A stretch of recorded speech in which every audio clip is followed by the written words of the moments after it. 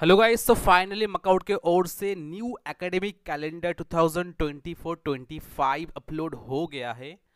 But problem क्या होता है? इसी ऑड सेमिस्टर में प्रॉब्लम होता है। यानी अभी एडमिशन सेशन चल रहा है फ़र्स्ट सेमिस्टर का फ़र्स्ट ईयर का और लेटरल स्टूडेंट्स का ओके सो जितने भी तुम लोगों का एडमिशन चल रहा है फ़र्स्ट सेमिस्टर और लेटरल स्टूडेंट्स यानी जो फ़र्स्ट ईयर बीटेक में एडमिशन लेने वाले या किसी भी ग्रेजुएशन में एडमिशन लेने वाले हो, या फिर मास्टर्स डिग्री में एडमिशन लेने वाले हो, यानी इसी साल नेक्स्ट एक नया डिग्री में एडमिशन लेने वाले हो तो उन लोगों का ये अपडेट नहीं है। उन लोगों को छोड़ के बाकी जितने भी तुम लोगों का भी रिसेंट और सेमिस्टर में आए हो तो उन लोगों का ये अपडेट है ओके क्योंकि जो फ़र्स्ट सेमिस्टर स्टूडेंट्स हैं, उन लोग का देखो लिखा है कि एज पर एडमिशन डेट्स तो अभी तक एडमिशन चल रहा है फ़र्स्ट ईयर स्टूडेंट्स का तो डेट्स बाद में आएगा, कब क्या होगा, ठीक है? बट बाकी हम बात करते हैं कि तुम लोगों का C A one C A two C A three P C A one P C A two C A four okay ये सब कब होने वाला है, ठीक है? अभी इस सेमिस्टर का। सो ऑर्ड सेमिस्टर का तुम लोगों का जो स्टार्ट होने वाला है क्लासेस वो है फिफ्टींथ जुलाई से। मई, जून, जुलाई, ओके? यानी फिफ्टीन जुलाई से स्टार्ट होगा, थर्ड, फिफ्थ, सेवेंथ और नाइन्थ सेम का, और इनरोलमेंट स्टार्ट हो जाएगा twenty seventh sorry twenty second July to thirty first July के बीच में।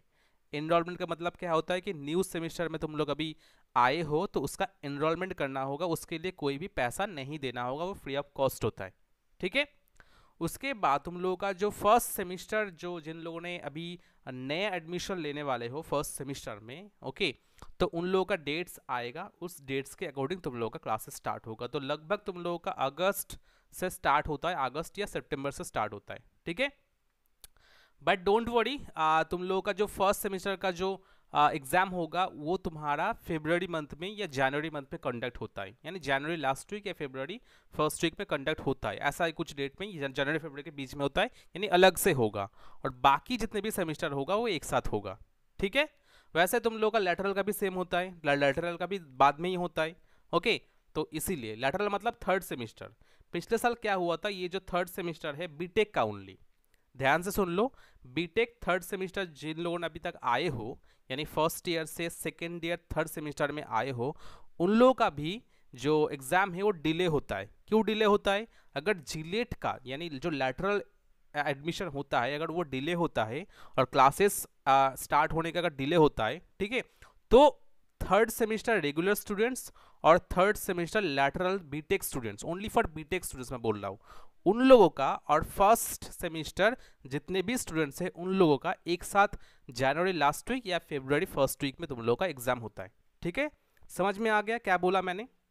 और बाकी का सेम जैसे बाकी का होगा सी ए वन का सबमिशन डेट होगा जुलाई अगस्त यानी ट्वेल्थ अगस्त टू सिक्सटीन अगस्त के बीच में सी ए वन का मार्क्स सबमिशन होगा, यानी विद इन ट्वेल्थ जुलाई के बीच में तुम लोगों का सी ए वन एग्ज़ाम हो जाएगा।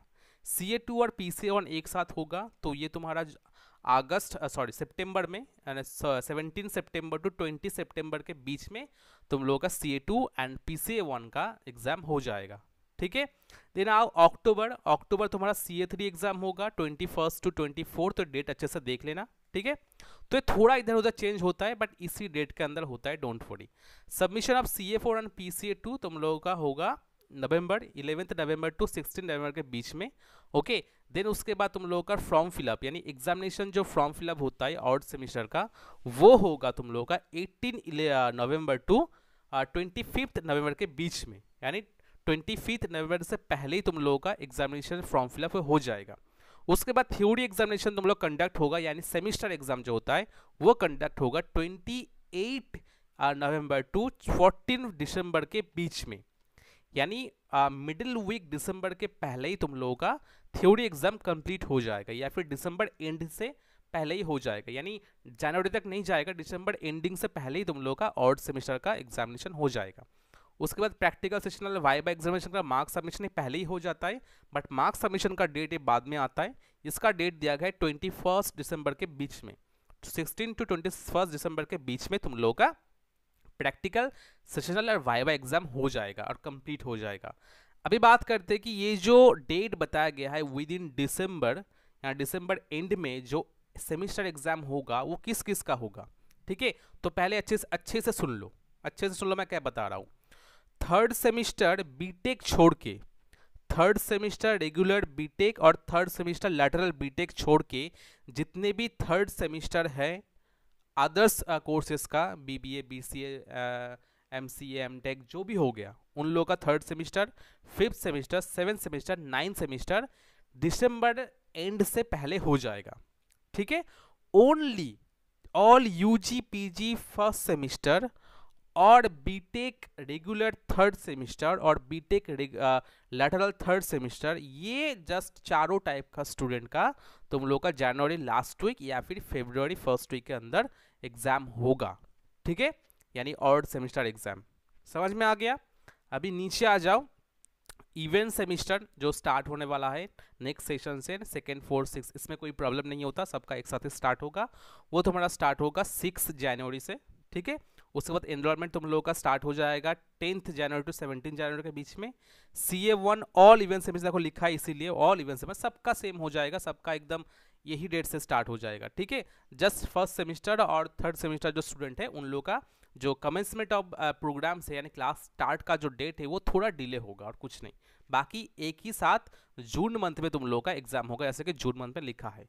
यानी नेक्स्ट सेशन जो इवेंट सेमिस्टर होगा, वो सबका जून मंथ में एक साथ में होगा। ऐसा नहीं कि फ़र्स्ट सेमिस्टर में बाद में होगा और यानी नए कैंडिडेट यानी मैंने क्या, मैं मैं क्या बोलना चाहता हूँ कि फ़र्स्ट जो एडमिशन लिया है उन लोगों का बाद में होगा, ठीक है? उस, उससे पहले जो रेगुलर स्टूडेंट है, उन लोगों का पहले होगा। ऐसा नहीं, सबका सेम एक साथ होगा, ठीक है? यानी और इवेंट सेमिस्टर में ओके अभी आ जाओ C A two P C A one वो होगा तुम्हारा third March to seventh March में, और सी ए थ्री होगा third April to seventh April के बीच में, और C A four P C A two का होगा fifth May to tenth May के बीच में, और जो examination form fill up start होगा thirteen May to twenty May के बीच में, और थ्योरी एग्ज़ाम तुम लोग का स्टार्ट होगा यानी एंड सेमिस्टर जो होता है twenty third May to tenth June के बीच में, और प्रैक्टिकल सेशन वाइवा का सबमिशन डेट होगा ट्वेंटी फ़र्स्ट जून के बीच में। अभी आता हूँ मार और मुक्स का डेट भी दिया गया है। ठीक है? देखो मार्ड का तुम लोगों का डेट बताया गया है और सेमिस्टर का, यानी मैंडेटरी एडिशनल रिक्वायरमेंट ये मैंडेटरी होता है, ये तुमको सबमिट करना ही पड़ेगा। उसका डेट बताया गया है first August to thirty first December के बीच में। यानी first August to thirty first December के बीच में तुम लोगों का एम जो है वो सबमिशन करना होगा कॉलेजेस में, ठीक है? और इवेंट सेमिस्टर का बताया गया है first February to thirty June के बीच में। ध्यान रखना तो इसी मंथ के अंदर तुमको एएमआर सर्टिफिकेट कलेक्ट करके सबमिट करना होगा, ठीक है? उसके बाद मूक्स का जो अपलोड किया गया है, वो बोला गया है, ये तुम्हारा एक ईयर में एक ही बार होता है और मार तुम्हारा एक ईयर में दो बार होता है, ठीक है?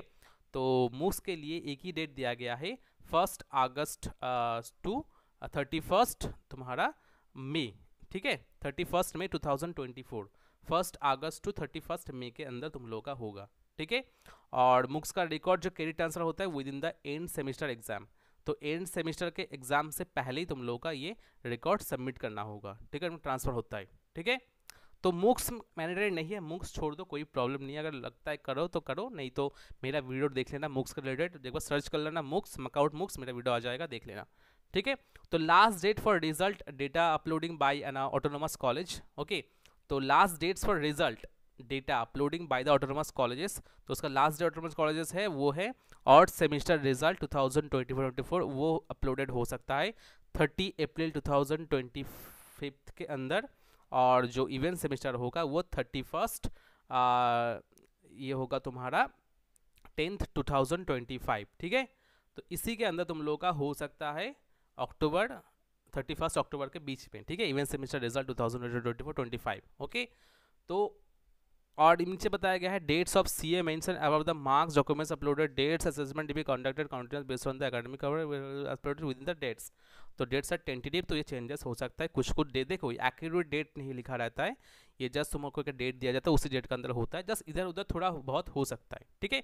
बट इवन सेमिस्टर का छोड़ दो, ये तुम्हारा कोई प्रॉब्लम नहीं, ये चेंजेस हो सकता है बट अभी तुम लोग फोकस करो ओनली ऑड सेमिस्टर का, ठीक है? तो मैंने पहले ही बता दिया ऑड सेमिस्टर में ज़्यादा सारा प्रॉब्लम होता है तो बाकी होगा तुम लोग का दिसंबर में होगा, और जो लोग अभी फ़र्स्ट ईयर में एडमिशन लेने वाले हो तो और बीटेक लेटरल और बीटेक तुम्हारा रेगुलर थर्ड सेमिस्टर का, वो तुम्हारा जनवरी एंड या फिर फेब्रवरी फ़र्स्ट वीक में एडमिशन सॉरी एग्ज़ाम होने वाला है, ठीक है? तो आई होप आपको ये वीडियो अच्छा लगा है। अगर अच्छा लगा तो लाइक लाइक कर देना। मैंने जस्ट ये वीडियो पूरा विदाउट एनी एडिटिंग मैंने किया, ठीक है? टाइम बहुत कम है। मैं एक वीडियो में डाल दूँगा कब कब किसका डेट होने वाला है। एकदम फ्रेश करके एक वीडियो आएगा, ठीक है? जस्ट वो वीडियो वाला वीडियो तुम लोग देख लेना ओके आई होप ये वाला वीडियो अच्छा लगा और अच्छा लगा तो एक लाइक कर देना। चलो मिलते हैं बाय टेक केयर